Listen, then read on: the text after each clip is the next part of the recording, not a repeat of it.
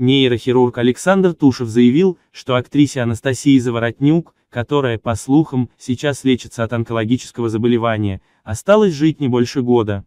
Как он отметил, средняя выживаемость пациентов с четвертой стадией рака составляет от 8 месяцев до года.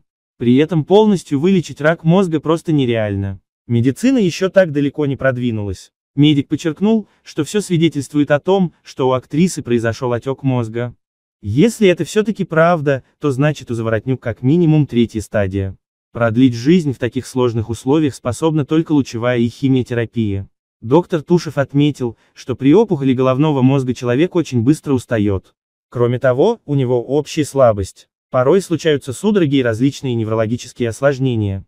В то же время он подчеркнул, что ложиться на операцию в таких случаях также очень рискованное занятие. После хирургического вмешательства могут возникнуть неврологические проблемы. Если так происходит, то применять лучевую терапию нельзя, а без нее пациент может очень быстро умереть.